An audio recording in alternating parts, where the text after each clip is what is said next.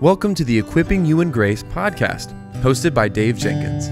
The Equipping You in Grace podcast is a podcast about helping Christians develop a biblical worldview in a conversational tone about issues inside and outside the church. Now, for today's episode, let's join our host, Dave Jenkins. Well, welcome back to the Equipping You Grace podcast. My name is Dave, and I'm the host for this show. And on today's episode, we're going to continue our series talking about contentment. Uh, today, zeroing in on contentment and discouragement. You know, from time to time over the centuries, some Christians have taught, sometimes with very tragic consequences, that a truly spiritual person will never get discouraged. To be cast down, by definition, according to them, is to be unspiritual. You know, unless we're well grounded, though, in the Word of God, it is very easy for us to be overwhelmed, confused, and even more discouraged by such teaching. In fact, this teaching, it seems logical, right? If the gospel saves us, it must save us from discouragement. And it also appears to be wonderfully spiritual. After all, are we not more than conquerors through him who loved us, according to Romans 8:37? But this is not biblical logic, nor is it true biblical spirituality. The gospel saves us from death not by removing death, but by helping us to face death in the power of Christ's victory and thus to overcome it. And so too with sin, and similarly with discouragement. Now, you see, faith in Christ does not remove all the causes of discouragement. Rather, it enables us to overcome them. We may experience discouragement, but we're not to be defeated by discouragement. And nor is this the biblical spirituality. It is false super spirituality that ignores or even denies the reality of our humanity. We live in frail flesh and blood and in a fallen world, which John says in 1 John 5:19 lies in the power of the evil one. And there's much to discourage us, right? Jesus knew this. To be free from the possibility of discouragement will be more spiritual than Jesus and therefore not truly spiritual at all. In fact, even Psalm 42 and 43 teach us the biblical approach to discouragement. We feel it, we recognize it for what it is, and we start to analyze the reasons for its presence. Disappointment often reveals what your heart is really worshiping. It exposes you. If your son made a bad decision, are you sad because of his foolish decision or because it shows he's not living up to your expectations? Uh, in fact, if you desire more intimacy with your spouse, but he or she doesn't um, doesn't go along with it, are you dissatisfied because of your spouse's no or because you feel entitled to more intimacy? If your boss doesn't give you the promotion, are you frustrated because you worked hard for that pay raise or because you fear failure?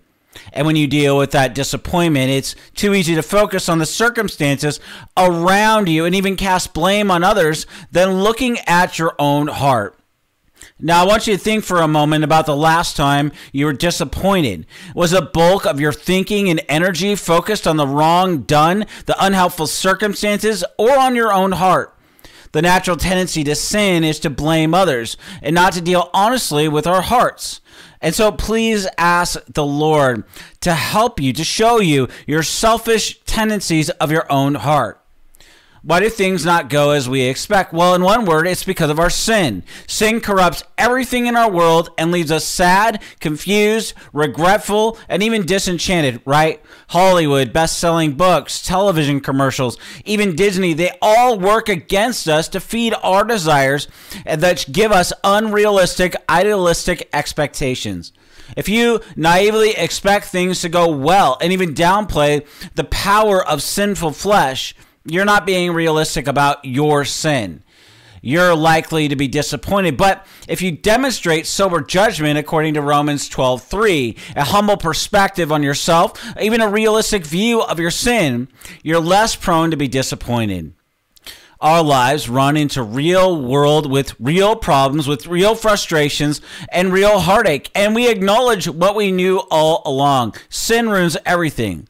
And yet the Spirit is powerfully working within you, dear Christian, but your flesh is doing everything it can to undermine your real, true life in Christ. So, what do you do when you're disappointed? Do you hold a pity party? Do you complain about it? Do you grumble about it? Do you mope about it? Uh, get angry, muddle through confusion, turn, turn on yourself, manipulate, withdraw, fix the problem, make the problem go away? None of those responses are Christian at all. The smartest thing a Christian can do is to turn to Christ and start with a few simple words in prayer Help. Jesus, I can't deal with this on my own. I need you. Where you turn with your disappointment is key. Do you turn to Christ or do you sort through this on your own? Do you turn to Christ or do you cast the blame on your circumstances? Do you turn to Christ or do you blame the Lord? Do you think that since He's sovereign, everything that doesn't work out for you is His fault? Dear Christian, don't you see that your disappointment, your brokenness could be clearing away the clutter of your life that's keeping you from seeing Christ Himself? Turn to Christ and give your disappointment to the Lord. You know you, you, are you struggling today because your hopes your dreams your expectations have not worked out? Run to the cross let christ comfort you and offer a kind of satisfaction that can only be found in the lord. In the shadow of the cross your disappointment can be de- dealt with honestly and real. You know you might face a really hard situation and you might have got really hard news and and and what you need to understand is that in light of that hard news you need to hear today that as long as we live on this side of glory sin is going to make a mess of our lives and so when things go wrong, our vantage point can be narrowed to the tiny kingdom of ourselves, and we can't see beyond our disappointment. We get fixated on the horizontal, the anger, the pain, the confusion, the disappointment, and we even lose sight of the vertical, our relationship with God. But God is saying to us, dear child, look up and see.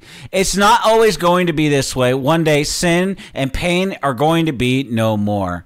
And now, when you're disappointed, you need to look up. You need to look beyond the confines of your circumstances and remember heaven, as Psalm 73 24 through 26 says.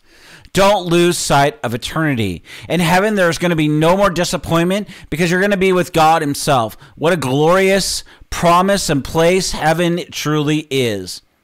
In fact, just when you're about to finish one of the letters from the Apostle Paul, he hits you between the eyes with a one liner that tells you how well he understands you and your Christian life. Have you ever experienced this? Take 2 Corinthians 3:13. Do not grow weary in doing good. Paul and the Thessalonians were facing hard times. They were experiencing affliction. Paul knew how easy suffering can wear believers down, almost to the point of losing heart, as Paul talks about in 2 Corinthians 4 1 through 16. And perhaps you know that feeling disappointment, opposition to your faith at home or work, illness, personal loss, they these can all wear you down. So, what is it that prevents us from growing weary in well doing? How does knowing God and his ways are perfect and holy and just, how does that make a difference? Well, let's talk through this. Psalm 119, 67, and 71 make clear that sometimes God leads us through affliction in order to refocus our gaze on the Lord. John 15, 12 teaches us about this, that at other times the Lord is pruning us so that we may bear even more fruit for his honor and glory. 2 Corinthians 4 10 through 12 is helping us as well to understand that He may order trials in our lives to touch others through us. And in the case of Job and in the mystery of his providence, he sometimes wants to show us his grace and glory in us in the midst of our trials. And then in every situation, he is working as a great Presbyterian pastor, Samuel Rutherford used to say, to polish our graces and to make us more like Jesus according to Romans 8:29. Now, you see, we do not always see immediately what the Lord's purpose is, but we know this, the truth of Psalm 18:30.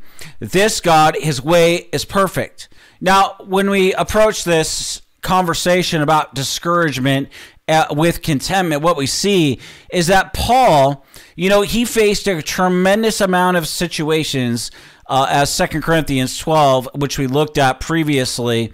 He says this in Philippians 4:11 though, I have learned in light of what he talks about in Second Corinthians 12, He says he learned in Philippians 4:11, in whatever situation I am, to be content. Uh, just take a look at Paul's letters, and what you see is the more the Lord continues to refine my and your incomplete notions of contentment. Paul's not carefree. He's not unburdened. He, he's surrounded by trouble, nor is he surrounded by trouble-free relationships. In fact, considering the larger picture of Paul's ministry, it, it, it will give us a fuller picture of what contentment is by gaining insight into what it's not. See, contentment is not a carefree existence. Contentment isn't having it all together and finding a perfect balance between work and play, nor is it just some idyllic moment spent swinging on a hammock, sip, sipping sweet tea, reading a book on a cool afternoon while all the world around you falls apart. Paul is describing his time in Asia probably wouldn't make the Facebook feed in 2 Corinthians 1 8 when he says, for we do not want you to be ignorant, brothers, of the affliction we experienced in Asia. For we were so utterly burdened beyond our strength that we despaired of life itself. Burdened, afflicted, despairing. These are descriptions, and, and they're not in opposition to a contented soul. Second, contentment is not the absence of relational conflicts and anguish.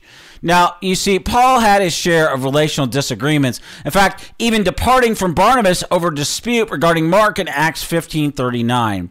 And yet, in the midst of deep affection, ministry included relational anguish, as he writes in 2 Corinthians 2 4. For I wrote to you out of much affliction and anguish of heart and with many tears, not to cause you pain, but to let you know the abundant love that I have for you. You see, loving others means our hearts will be burdened for them. Now, contentment is not an indifferent disposition towards others.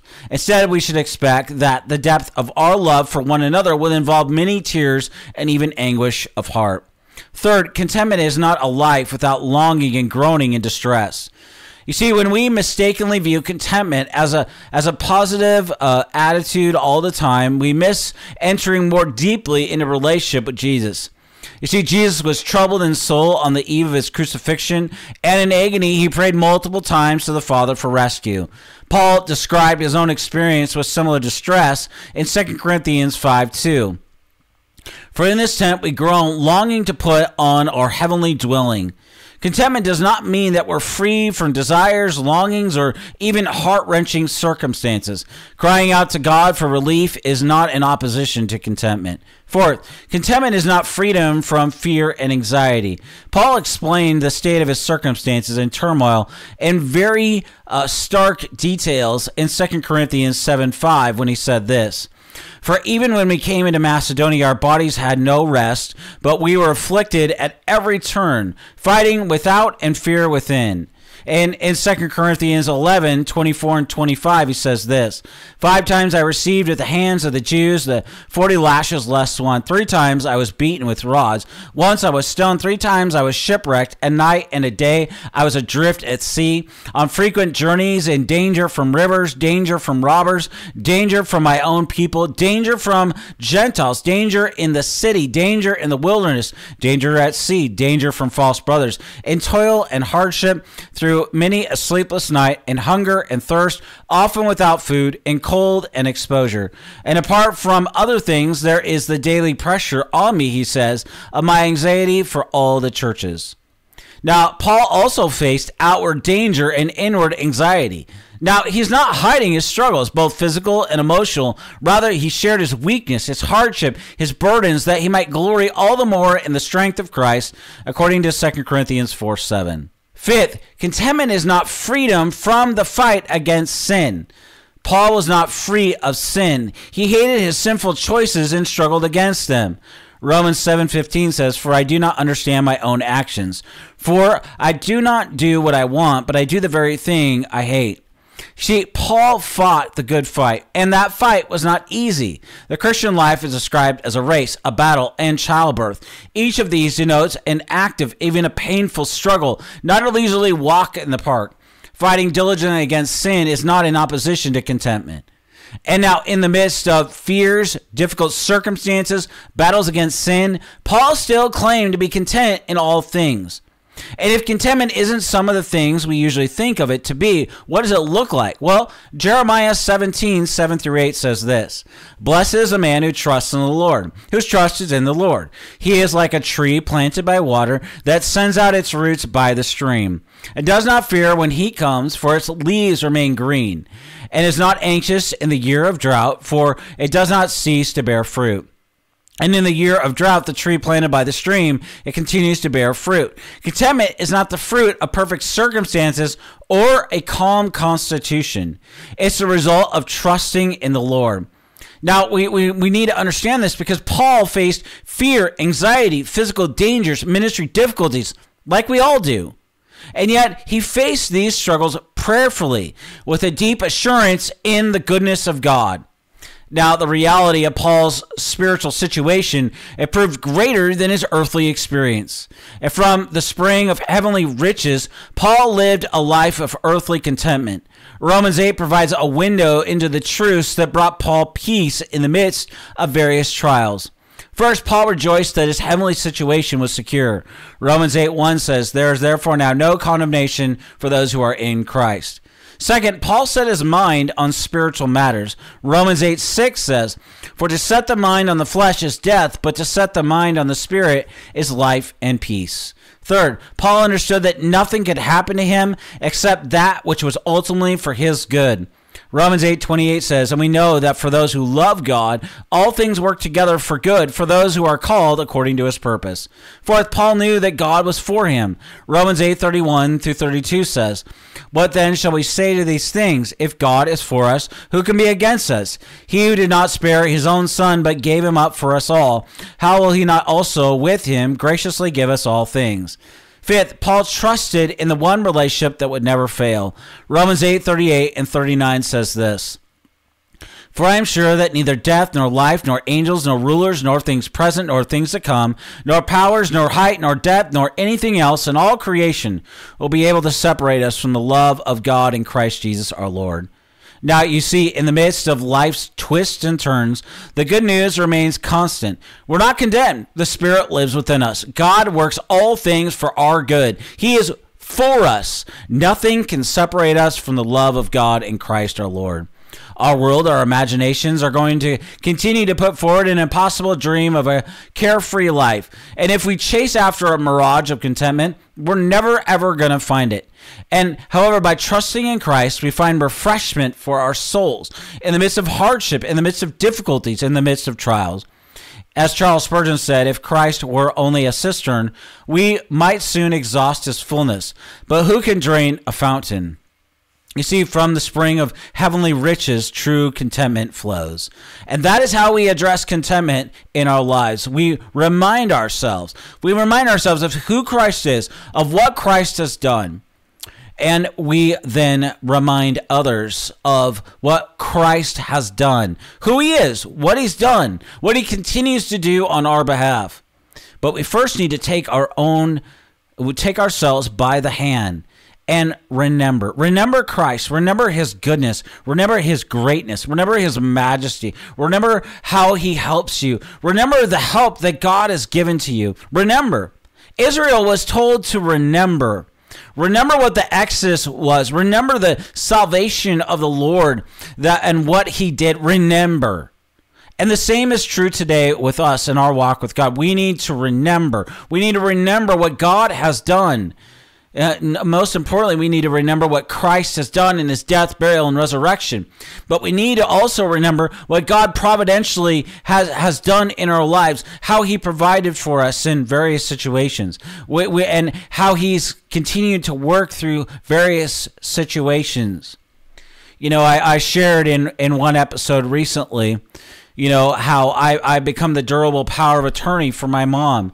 And it's just uh, as i look out at this situation friends i, I just want to say this with full honesty that you know I, i'm sitting here i pray and i'm just asking the lord lord would you providentially work as you only can to to give me wisdom and and even go before me in in conversations with other people? Would you providentially work in this situation to make this situation uh, uh, have have a good resolution?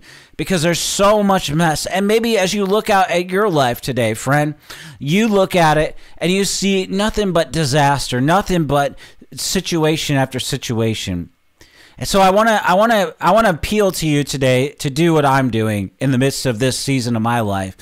I'm just praying and asking the Lord, Lord, I need your help. I need your wisdom. I need your guidance. Would you providentially, uh, as as you are working through these various people that I'm talking to, would you would you work through them? Would you would you prepare the way? Would you would you work uh, uh, with the, the various people?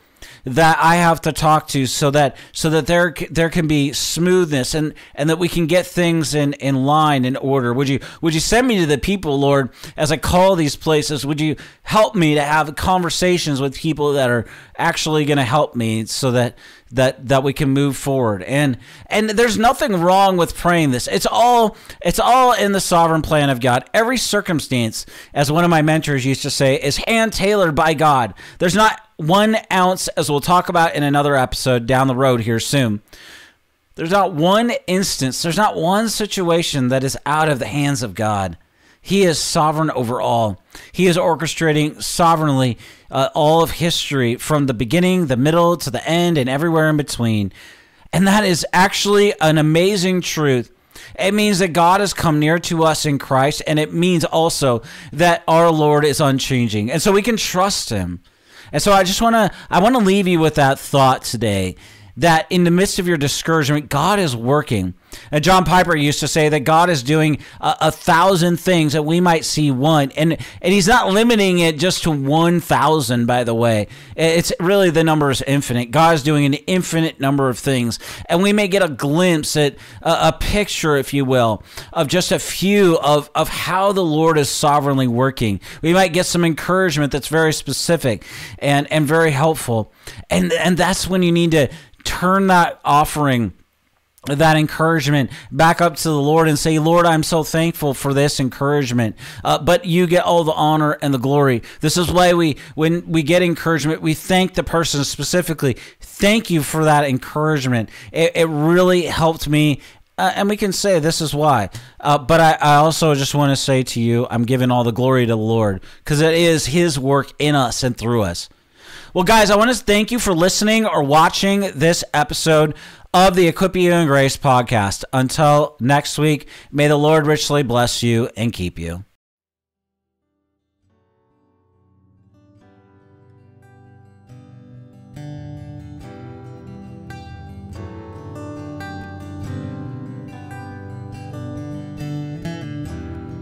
Thank you for listening to the Equipping You in Grace podcast. If you enjoyed it, please subscribe, rate us on the app, and share this with your friends and family on social media. If you want to find us on social media, you can find us on Twitter at Servants of Grace, on Instagram at Servants of Grace, or by searching at Servants of Grace on Facebook. You can also find this episode and many others like it on the front page of our website, servantsofgrace.org.